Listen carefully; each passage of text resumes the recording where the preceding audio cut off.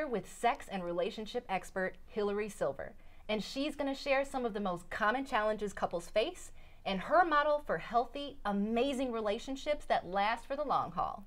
So, I'm so excited to talk about this topic because I've been married for like, I think it's going on nine years this year, and challenges always happen no matter how long you've been together. So, it's really important to know how to handle those challenges. So, first off, I'd like to know what are some of the most common challenges, and we'll go from there.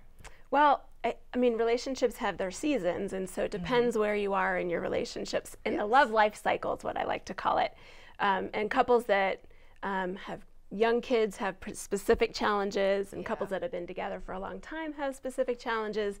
Um, but it always comes back to how both people are showing up in the relationship. Mm-hmm. Um, and to, it's really important that both people are full, whole, self defining, yeah. self determining autonomous people so that one doesn't overpower the other. That's so huge. I don't even know, like, that's one of the things that we've always talked about, making sure that we're always kind of in alignment with each other because it would be easy, you know, for us to kind of grow apart if we're not kind of paying attention to that. Where are you? Where are you? And asking that question constantly. Mm-hmm.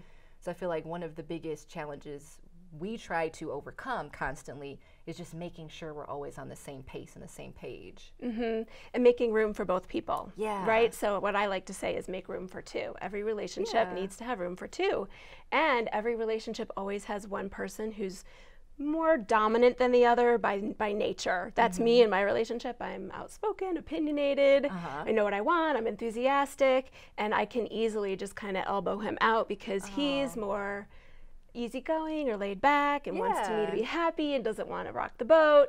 So there's always one in each uh-huh. relationship who's a little bit more than the other. So it's really important to make sure that you're navigating right. that balance of power because when that's off, it affects everything in and out of the bedroom. Mm-hmm.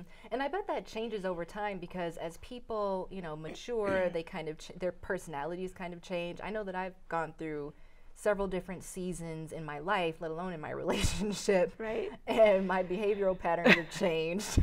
So I might have been a little more easygoing earlier on. And now I think I've gotten, I've grown to be more outspoken and dominant, but still, you know, my husband's um, always the, he's always been kind of more dominant than I am personality wise. Mm-hmm. But I've kind of you've come into your own. a little bit. Yeah, yeah. Well, and, yeah. and, and, a, and, a, healthy relationship will be flexible enough to uh-huh. accommodate you finding your full voice and uh-huh. being your full self. Yeah. Yeah. So, how do people in a relationship, and I feel like this is one that um, is really important to me. I so one of the things that I personally valued, and I I knew myself when I got into the relationship, and I told my husband when we were dating, the most important thing to me is for me to feel like I'm being seen. And I even remember in the um, the Beyonce film of her latest album, and she said that she talked about both in the relationship. Do you see me? Do you see me? You know, and that kind of being one of the challenges that she's dealt with in her um, relationship with her husband. Mm-hmm. You know, how do we consistently make sure that the other person feels seen and heard? Well, I think we all experience that differently, and so I feel seen and heard and loved and supported mm-hmm. when, and it's kind of goes to the love languages a little yeah. bit, but for me, if my husband's not doing the things around the house that I need him to do, I feel alone yeah. and I don't feel important to him. And I know for him, he really needs to spend a lot of time with me. So it's really about making sure that when you're asking for what you need, you're not making it vague. Uh-huh. You're not uh-huh. saying, I need you to see me. You're saying, yes. this is what I need from you so yes. that I feel seen. So okay. it's really important to ask for what you need and to ask specifically. Yes. And even sometimes put a qualifier on it, like, I need you to move your tennis bag now, not tomorrow. that will make me feel important to yes. you, right? So I think we just don't realize sometimes that we're not communicating as clearly yes. as we think we are, mm-hmm. and we miss each other. Okay. And then we don't feel important and we don't feel loved, and then we get resentful, and that's where things really start to fall apart. Yeah. I was personally guilty of that specific thing for a while because I would say, Well, you never do the dishes. And he says, Well, I do the dishes.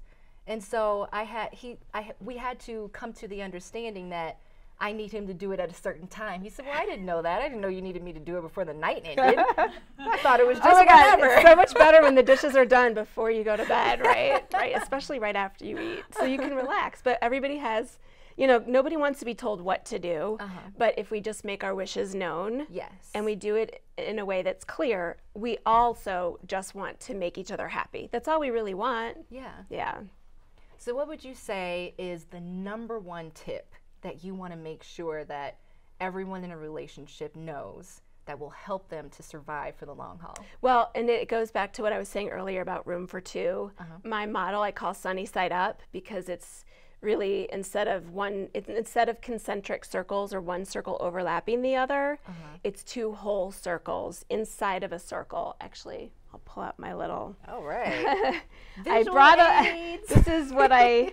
Um, this is these are just from um, workshops that I give, so I don't know if you can see it, but this is my model, and it represents the two whole, full, autonomous, self-defining people inside of the relationship, and this is the boundary around you, and so there's always needs to be room for two. yes.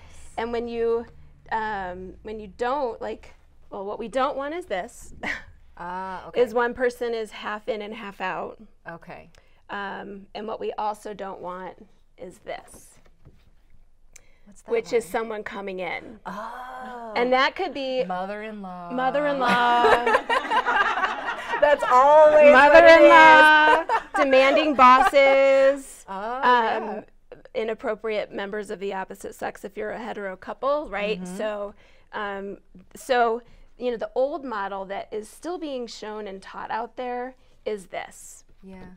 and this is just doesn't work because it never stays like this. Life is dynamic, and one person al- is always more dominant dominant than the other. And so what ends up happening is this. I, I don't know if you can see because the colors are didn't print out very well. Uh-huh. But one overshadows the other, and the other acquiesces and submits and capitulates and withholds to make mm-hmm. the other happy or to keep the peace or to, you know, just to avoid conflict. Yes. And then that's when all things go wrong.